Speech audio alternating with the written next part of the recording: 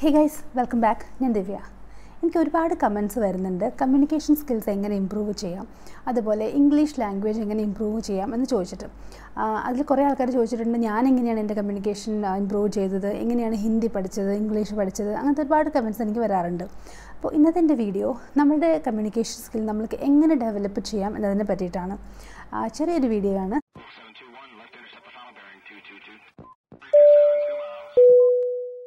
നമ്മുടെ communication skill എന്ന് പറയുന്നത് ഒരിക്കലും ഡെവലപ്പ് ചെയ്യാതെ അല്ലെങ്കിൽ അതിന് വേണ്ടി വർക്ക് ചെയ്യാതെ നമുക്ക് ഒരിക്കലും അത് ഡെവലപ്പ് ചെയ്തെടുക്കാൻ പറ്റില്ല. ആ ഒരു കാര്യം നിങ്ങൾ ആദ്യം മനസ്സിലാക്കണം.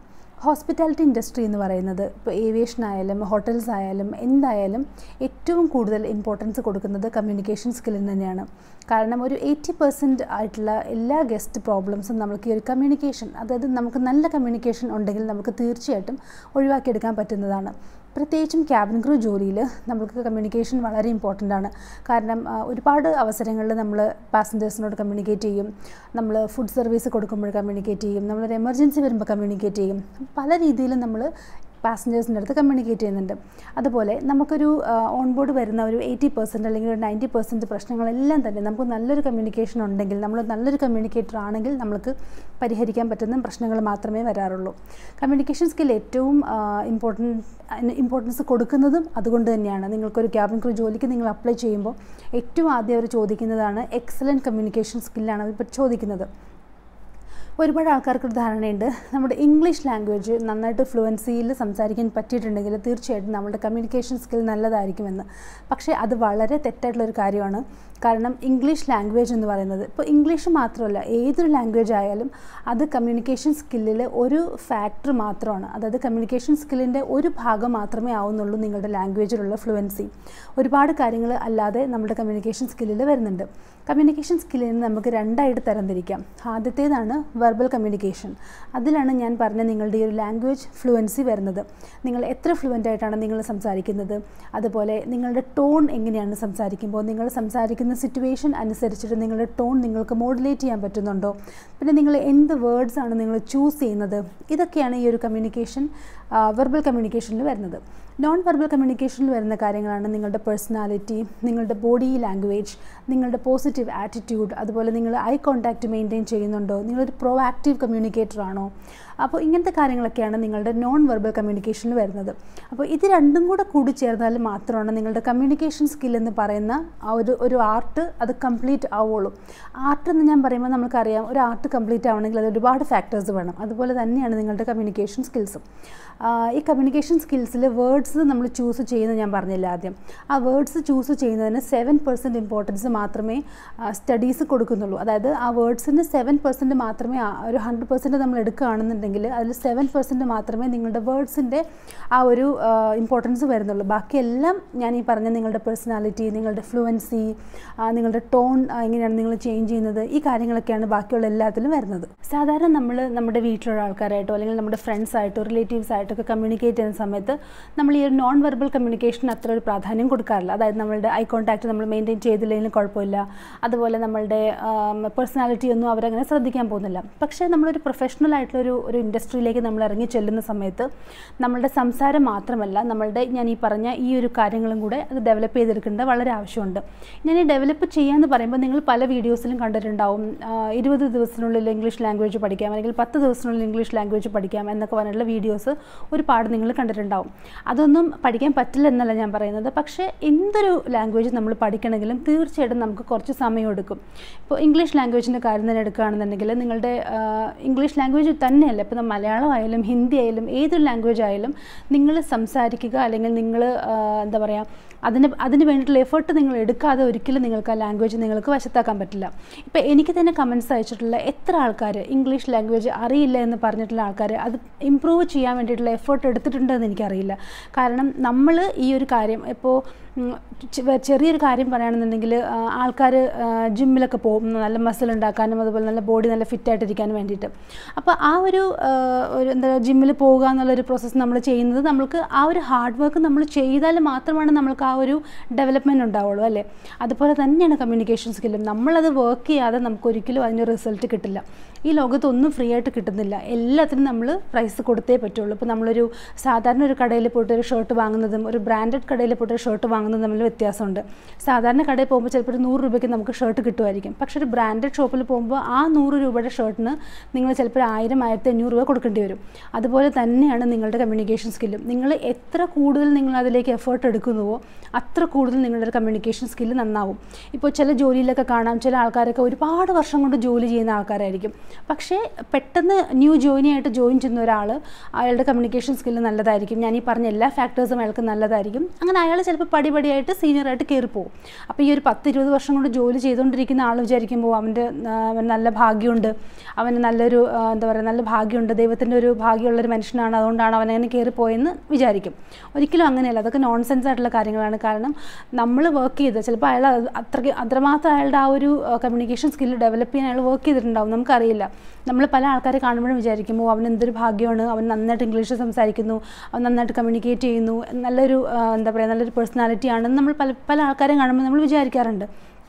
പക്ഷേ ആ ഒരു സ്കില്ല് ആ ഒരു പേഴ്സണാലിറ്റി നമ്മൾ ഡെവലപ്പ് ചെയ്തെടുക്കുന്നത് എങ്ങനെയാണ് എന്നാണ് നമ്മൾ എപ്പോഴും ചിന്തിക്കേണ്ടത്. ബാക്കിയുള്ള ഒരുപാട് ആൾക്കാർ നിങ്ങൾക്ക് റോൾ റോൾ മോഡൽസ് ആക്കാൻ പറ്റുന്ന ഒരുപാട് ആൾക്കാരുണ്ട്. ഇപ്പോൾ റോൾ മോഡൽസ് ആക്കണമെന്ന് ഞാൻ പറയുമ്പോൾ ഒരിക്കലും ഹോളിവുഡിലോ ബോളിവുഡിലോ ഉള്ള ആൾക്കാരൊന്നും നിങ്ങൾ റോൾ മോഡൽസ് ആക്കേണ്ട ആവശ്യമില്ല. നമ്മുടെ നാട്ടിൽ തന്നെ നമ്മുടെ കേരളത്തിൽ തന്നെ ഒരുപാട് ഇംഗ്ലീഷ് സംസാരിക്കുന്ന അല്ലെങ്കിൽ ഒരുപാട് നല്ല കമ്മ്യൂണിക്കേറ്റേഴ്സ് ഉണ്ട്. അതിപ്പോൾ മൂവി സ്റ്റാർസ് ആയാലും പൊളിറ്റീഷ്യൻസ് ആയാലും ആരായാലും ഒരുപാട് നല്ല ആൾക്കാരുണ്ട്. ഫോർ എക്സാമ്പിൾ വളരെ നല്ലൊരു എക്സാമ്പിൾ പറയുകയാണെന്നുണ്ടെങ്കിൽ ശശി തരൂർ സാറാണ് എനിക്ക് വളരെ നല്ലൊരു പേഴ്സണാലിറ്റി ആയിട്ട് തോന്നിയിട്ടുള്ളത്. നമുക്കറിയാം വളരെയധികം അദ്ദേഹത്തിന് ട്രോൾ ചെയ്തിട്ടുണ്ട് ആൾക്കാർ. അദ്ദേഹത്തിന്റെ ആ ഒരു ഇംഗ്ലീഷ് ആ ഒരു ലാംഗ്വേജ് അല്ലെങ്കിൽ അദ്ദേഹം പ്രൊനൗൺസ് ചെയ്യുന്ന വേർഡ്സ് ഒക്കെ വെച്ചിട്ട്. പക്ഷേ നിങ്ങൾ ആരെങ്കിലും അദ്ദേഹത്തിന്റെ ഒരു ഒരു സ്പീച്ച് അല്ലെങ്കിൽ അദ്ദേഹം അദ്ദേഹം ഒരു യു എസിലൊക്കെ ഒരുപാട് പോയിട്ട് സ്പീച്ചും അതുപോലെ തന്നെ ഒക്കെ നടത്തുന്ന ഒരാളാണ്.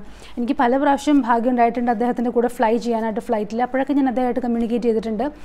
അദ്ദേഹത്തിന്റെ കമ്മ്യൂണിക്കേഷൻ സ്കില്ലെന്ന് ഞാൻ പറയുമ്പോൾ ഇംഗ്ലീഷല്ല ഞാൻ പറയുന്നത്. ഇംഗ്ലീഷ് സംസാരിക്കാനുള്ള ആ ഒരു കഴിവല്ല ഞാൻ പറയുന്നത്. പക്ഷേ അദ്ദേഹത്തിന്റെ പേഴ്സണാലിറ്റി അദ്ദേഹത്തിന്റെ പേഴ്സണാലിറ്റി എന്ന് പറയുമ്പോൾ നമ്മളോട് അദ്ദേഹം എങ്ങനെ പെരുമാറുന്നു? ഒരിക്കലും അദ്ദേഹം എക്സ്ക്യൂസ് മീ എന്നോ അല്ലെങ്കിൽ നമ്മുടെ പേര് പറയാതെ അദ്ദേഹം നമ്മളെ വിളിക്കില്ല. എപ്പോഴും നമ്മുടെ നെയിം ബാഡ്ജ് നോക്കും. ഫോർ എക്സാമ്പിൾ ഇപ്പോൾ ഞാനൊക്കെ ഫ്ലൈ ചെയ്യുന്ന സമയത്താണെങ്കിൽ എന്നെ രണ്ട് മൂന്ന് പ്രാവശ്യം കണ്ടപ്പോൾ അദ്ദേഹത്തിന് അറിയാം. അത് തന്നെ വലിയൊരു കമ്മ്യൂണിക്കേഷൻ സ്കില്ലിന്റെ വലിയൊരു ഭാഗമാണ്. കാരണം ഒരു ഒരു പാസഞ്ചറുടെ അല്ലെങ്കിൽ ഒരാളുടെ പേര് ഓർത്ത് വെക്കാൻ കഴിയുക എന്നുള്ളത്. അതായത് അതായത് അഡ്രസ് ബൈ നെയിം അത് വളരെ നല്ലൊരു ഒരു സ്കില്ല് തന്നെയാണ്. അപ്പോൾ അദ്ദേഹം എന്നെ പലപ്പോഴും എന്നെ കാണുമ്പോഴേ ആ ഓക്കെ ദിവ്യ ദിവ്യ ആണല്ലേ ഫ്ലൈറ്റിൽ എന്നൊക്കെ പറഞ്ഞിട്ട് പറയുമ്പോൾ നമുക്കൊരു സന്തോഷമാണ്. അപ്പോൾ അദ്ദേഹത്തിന് ആ ഒരു ഓർമ്മശക്തി അതുപോലെ തന്നെ അദ്ദേഹം ആരായാലും അദ്ദേഹം ആദ്യം ചോദിക്കുന്നത് പേരായിരിക്കും. പിന്നീട് ആ പേര് വെച്ചിട്ടായിരിക്കും അദ്ദേഹം അവരെ അഡ്രസ്സ് ചെയ്യുന്നത്. ഞാൻ അദ്ദേഹത്തിന്റെ പാർട്ടിയിലൊന്നും അനുഭവമുള്ള ആളൊന്നുമല്ല അതുകൊണ്ടല്ല ഞാൻ പറഞ്ഞത്. പക്ഷേ അദ്ദേഹം വളരെ നല്ലൊരു ഒരു റോൾ മോഡലാണ് നിങ്ങൾക്ക് ഫോളോ ചെയ്യാൻ പറ്റുന്നുണ്ടെങ്കിൽ. അതുപോലെ ഒരുപാട് ഒരുപാട് നല്ല ആൾക്കാർ നമ്മുടെ കമ്മ്യൂണിറ്റിയിലുണ്ട് നിങ്ങൾക്ക് ഫോളോ ചെയ്യാൻ പറ്റുന്ന ഒരുപാട് റോൾ മോഡൽസ് ഉണ്ട് നമ്മുടെ കമ്മ്യൂണിറ്റിയിൽ എപ്പോഴും നമ്മൾ നോക്കേണ്ടത് നമ്മളെക്കാളും കമ്മ്യൂണിക്കേറ്റ് ചെയ്യുന്ന അതുപോലെ തന്നെ ഒരിക്കലും നമ്മൾ ആലോചിക്കരുത് എനിക്കത് ചെയ്യാൻ പറ്റില്ല അല്ലെങ്കിൽ എനിക്കത് ഓ എന്നെ കൊണ്ട് അതൊന്നും പറ്റില്ല എന്ന ഒരു ചിന്ത ആ ഒരു മെന്റൽ ബ്ലോക്കാണ് നമ്മൾ ആദ്യം ഒഴിവാക്കേണ്ടത്. നമ്മളെക്കൊണ്ട് ചെയ്യാൻ പറ്റാത്തതായിട്ട് ഒന്നുമില്ല ആക്ച്വലി നമ്മളിപ്പോൾ ആരും ഒരു കമ്മ്യൂണിക്കേറ്റർ ആയിട്ട് അല്ലെങ്കിൽ ഒരു ഗുഡ് കമ്മ്യൂണിക്കേറ്റർ ആയിട്ട് ആരും ജനിക്കുന്നില്ല. എല്ലാവരും ഈ ഒരു സ്കില്ല് ഡെവലപ്പ് ചെയ്തെടുക്കുന്നതാണ്. ചിലപ്പോൾ സാഹചര്യങ്ങൾ കൊണ്ട് നമ്മൾക്ക് ചില പ്രശ്നങ്ങളൊക്കെ ഉണ്ടായിരുന്നിരിക്കും. പക്ഷേ എന്നിരുന്നാലും നമ്മൾ വിചാരിച്ചാൽ നമ്മൾക്ക് ഈ ഒരു സ്കിൽ ഡെവലപ്പ് ചെയ്തെടുക്കാവുന്നതേ ഉള്ളൂ. നിങ്ങളൊരു ക്യാബിൻ ക്രൂ ആകാൻ ആഗ്രഹിക്കുന്ന ഒരാളാണെന്നുണ്ടെങ്കിൽ തീർച്ചയായിട്ടും ഈ ഒരു കമ്മ്യൂണിക്കേഷൻ സ്കില്ല് നിങ്ങൾക്ക് ഏറ്റവും ഇമ്പോർട്ടന്റ് ആയിട്ടുള്ള ഒരു കാര്യമാണ്. പലപ്പോഴും ഇന്റർവ്യൂവിന് പോകുന്ന കുട്ടികൾ പറയുന്ന കേൾക്കാം ചേച്ചി എന്റെ ഇംഗ്ലീഷ് ഭയങ്കര വീക്കാണ് അല്ലെങ്കിൽ എനിക്കൊരു കോൺഫിഡൻസ് ഇല്ല അവിടെ ചെല്ലുമ്പോൾ സംസാരിക്കുക എന്നുള്ളത്.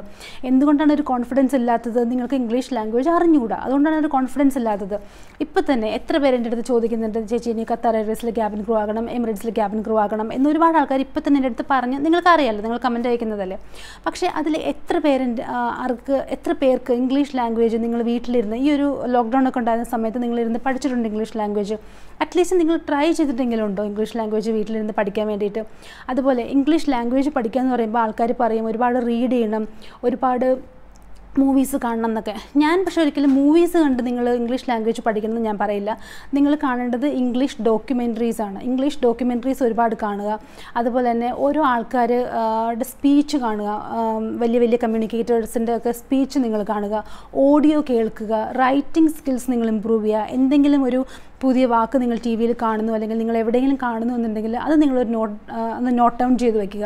അടുത്ത പ്രാവശ്യം നിങ്ങൾ സംസാരിക്കുന്ന സമയത്ത് നിങ്ങൾ ആ ഒരു ലാംഗ്വേജ് ആ ഒരു ആ ഒരു വേർഡ് നിങ്ങളുടെ ആ ഒരു സെന്റൻസിൽ കൊണ്ടുവരിക അല്ലെങ്കിൽ ആ നിങ്ങൾ പറയുന്ന ഒരു കാര്യത്തിൽ കൊണ്ടുവരിക. അങ്ങനെയാണ് സാധാരണ ആൾക്കാരെല്ലാം പഠിക്കുന്നത്.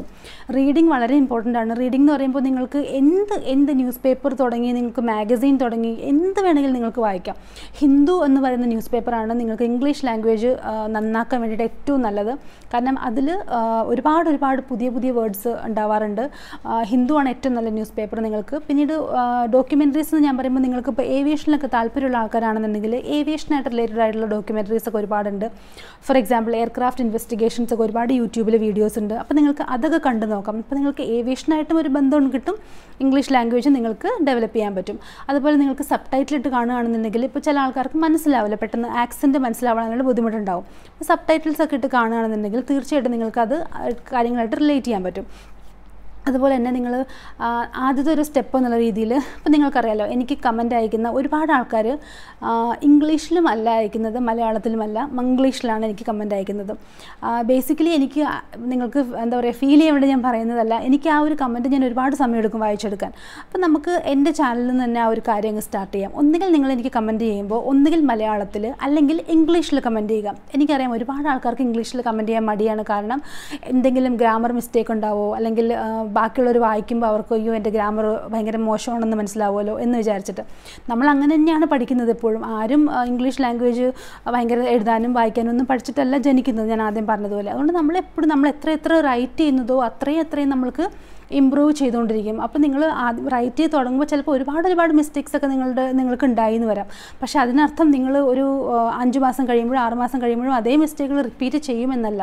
എപ്പോഴും നിങ്ങൾ മിസ്റ്റേക്ക് വരുന്ന മിസ്റ്റേക്കുകളും കൂടെ നോട്ട് ഡൗൺ ചെയ്ത് വയ്ക്കുക അപ്പോൾ ആ ഒരു മിസ്റ്റേക്ക് നിങ്ങൾ അടുത്ത പ്രാവശ്യം റിപ്പീറ്റ് ചെയ്യാതിരിക്കും. അപ്പോൾ നിങ്ങളുടെ കമ്മ്യൂണിക്കേഷൻ സ്കില്ല് ഞാൻ പറഞ്ഞതുപോലെ ക്യാബിൻ ക്രൂ ജോലിക്ക് വളരെ ഇമ്പോർട്ടന്റ് ആണ്. നിങ്ങൾ വീട്ടിലിരിക്കുന്ന സമയത്ത് ദയവായി റീഡ് ചെയ്യുക.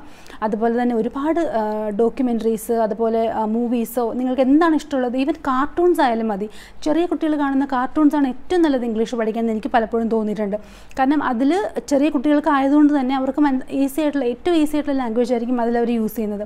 ഒരുപാട് ഒരുപാട് നല്ല കാർട്ടൂൺസ് ഉണ്ട് നിങ്ങൾക്ക് കാണണമെന്നുണ്ടെങ്കിൽ. ഇപ്പോൾ വീട്ടിലൊക്കെ എല്ലാവരും വെറുതെ ഇരിക്കുന്ന സമയമാണ്. ടി വി ഒക്കെ എല്ലാവരും കാണുന്നല്ലേ വീട്ടിൽ അപ്പോൾ ഇങ്ങനത്തെ കാര്യങ്ങളൊക്കെ നിങ്ങൾ ഡെവലപ്പ് ചെയ്യുക. അതുപോലെ തന്നെ ഒരുപാട് വായിക്കുക ഒരുപാട് വായിക്കുക ഓഡിയോസ് കേൾക്കുക.